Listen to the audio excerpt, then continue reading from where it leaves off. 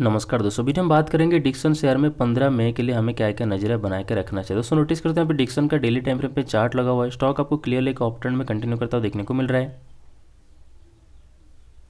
Right? तो यहाँ से आप नोटिस कर सकते हो स्टॉक अपना टेलेंट को सपोर्ट बना के ऊपर बढ़ता हुआ नज़र आ रहा है। तो अभी के लिए इसको जो रेजिस्टेंस लाइन दोस्तों आपको देखने को मिल रहा है three three zero four eight का है रेजिस्टेंस लाइन जैसे इस रेजिस्टेंस को ब्रेकआउट करेगा तो बड़ी तेज़ी आपको देखने को मिलेगी। तो अभी सब हमारे चैनल को सब्सक्राइब करके रखिए। जैसे ब्रेकआउट होगा, मैं आपके साथ में ज़रूर शेयर करूँगा। तो आप यहाँ पर सपोर्ट लाइन की अगर हम बात करें तो आपको देखने को मिलेगा टू एट टू फाइव का रहेगा support line next support line रहेगा two six two four point four zero का। अब दोस्तों अब दोस्तों दोस्तों यहाँ से जैसे ब्रेकआउट होगा तो आपको बड़ी तेज़ी देखने को मिलेगी, आपको ध्यान में रखना चाहिए दोस्तों डिक्सन शेयर में बात करेंगे नेक्स्ट ट्रेडिंग सेशन की, कि नेक्स्ट ट्रेडिंग सेशन हमें कौन सी कौन सी लेवल्स पे ध्यान रखना चाहिए। Right right. तो आपको यहाँ पे सपोर्ट लाइन हमने ऑलरेडी ड्रॉ किया two five two sorry two eight two five का आप इसको ध्यान में रखिए। रेजिस्टेंस लाइन आपको यहाँ पे ध्यान में रखना चाहिए टू नाइन फाइव सेवन का।